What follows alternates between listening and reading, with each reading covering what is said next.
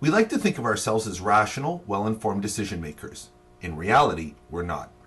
In this video, I describe this assumption of rationality and being well informed, and how this assumption often fails in real life. When we think of how we make decisions, we generally do not assume that we're impulsive, ignorant, or illogical. Instead, we often have a vision of ourselves as being something that economists might call rational, well informed actors. This model of well informed rational actors has two parts to it. One is the assumption of rationality, and two is the assumption that the person is well informed when making a decision. By rational, I mean that it's assumed we make logical, objective decisions. In this case, by logical, I mean clear and sound reasoning. We assume that we don't make our decisions willy nilly without reason or in some other senseless way. By objective, I mean that we assume that we take a cold, hard look at the evidence and make our decisions without bias or undue sway from personal preferences or our own uh, mental glitches.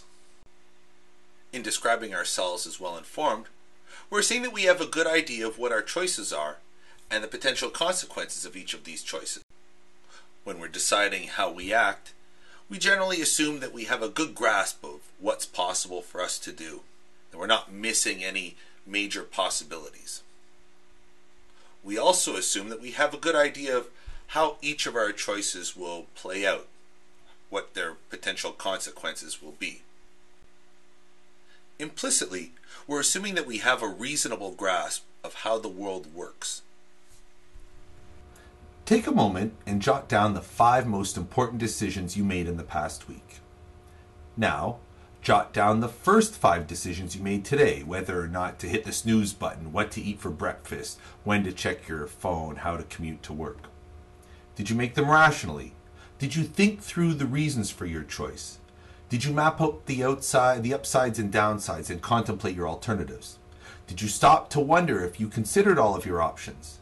Did you think about whether or not things could be done better? Probably not. Most of our decisions are not done rationally with some processing of information, at least a deliberate processing of information.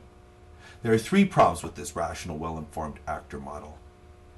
One, non deliberative decisions. Two, low information. And three, mental errors. Let's think about these errors one by one. The first problem is that most of our decisions are made non deliberatively. The word deliberate has to do with having a discussion back and forth. Either you talk about the discussion with other people or have an internal conversation about it in your head. Deliberative decisions are choices that we make with extensive thought about their options and their consequences. Many of our decisions, though, are non deliberative. They're made without extensive thought. Many of our decisions are made impulsively, that's where there's no contemplation of our choices or their consequences. A good example of impulse decision making is when we go to the checkout counter of a store and our hand just reaches out and grabs a National Enquirer or a pack of gum or a five hour energy bottle. Those products that stores put next to the counter are called impulse items. They put them there to capitalize on our proclivity to just make a decision on the spot without thinking it through. Some of our decisions are made habitually. Those are decisions that we might have thought through once, but ever since we've been going through them automatically without thinking about them, repeating these decisions over and over again. In retail, a lot of products are like that. We decide once that we're going to try Morton salt or Tide uh, laundry detergent, and then after that, we don't really think when we're at the shopping counter about which salt or detergent to buy we become loyal customers. But our loyalty isn't doesn't stem from the fact that we love the brand and have faith in it. Instead, our loyalty comes from the fact that we just stop thinking about the choice and do it over and over again without thinking. A third example is a practice called sufficing. Those are decisions where we don't contemplate all of our choices uh, or their consequences fully, but rather we start uh, a decision making process and then we stop as soon as we find a choice that's good enough. It's not a completely rational way of making decisions in terms of selecting your best option, although it might be rational in terms of not wasting time on a decision that you don't care a lot about. The thing is, is that we often suffice in decisions that do ultimately matter to us. And so we turn off our rational minds uh, as soon as we find something that could plausibly be described as having been rationally discerned. We just move on. So, for example, I might not like thinking about cars, but I know I need a good car that has good fuel economy, and I just ask my friends if they know of a good fuel economical car until the first person gives me a name, and then I run out and go buy it. That'd be a sufficing uh, type of purchase decision. I didn't decide. I didn't look into what was the best choice for me all around, but rather I took the first decent option that came my way. The second major problem in our decision making is that we often lack information. We don't know what our choices are. We don't have a firm grasp of the upsides and downsides of each of our choices. Think about when you were picking colleges. Were there other colleges that you wish you had considered? When you look back, do you think that there was a lot you didn't know that you know now and you wish you had known when you were making your choices? Did you know what qualities to look for in a college? Were you misinformed about what, what college life was like? These are all informational problems, and they're very frequent. Sometimes it's our fault. We didn't look things up. Uh, maybe we should have uh, bought some books on the topic or done a little search on the internet. But very often, everybody lacks information. There's only so much that people can know with much certainty. And probably if you asked 10 different experts about choosing a college or just about any issue, you'd get 10 different answers. Some things we don't know because research is not up to where we'd like it to be. But as we'll see later, there are some limits to what research can tell us and what people can know with much confidence. Some questions can't really be answered scientifically at all. The third type of problem that keeps our decision making from being rational and well informed are mental errors. These are common mistakes that we make when we're trying to rationally calculate our options. One example is anchoring. Anchoring happens when you give disproportionate weight to the first piece of information you receive. When you make decisions, be careful not to latch on heavily to the first piece of information that you get. Just because it came to you first doesn't mean it's the most important. A second common mental error is one that favors the status quo. That means when we're making a choice, we give sort of an extra advantage to the choice that requires the least amount of change on our part. Maybe we do it because it's easier, or maybe we do it because the status quo is more familiar. Just because a choice is easier or more familiar doesn't mean it's better. A third glitch in our decision making process is something called ignoring sunk costs. Sunk costs, uh, ignoring sunk costs rather, occur when we made a bad decision in the past, but we don't walk away with it because we've already invested so much in it.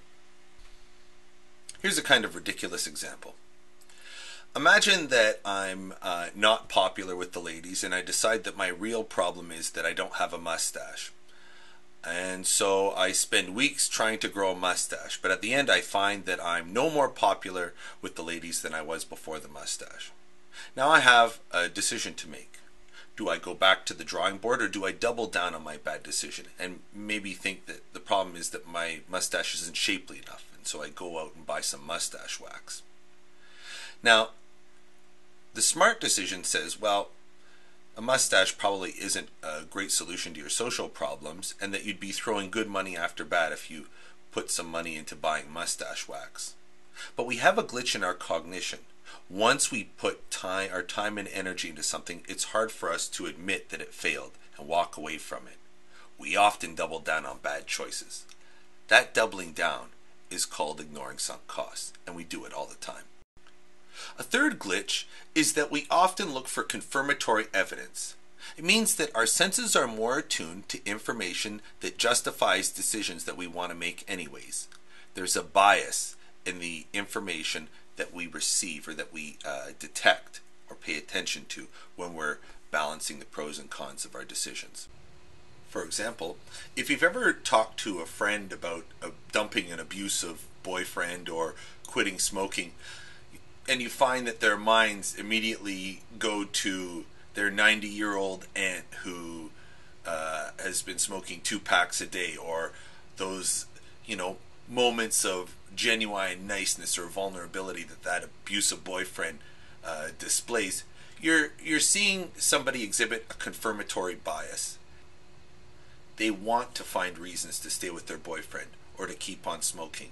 And they're not being dishonest, but instead their mind is hyper attuned to pieces of evidence that justify the view that they want to accept as the best one.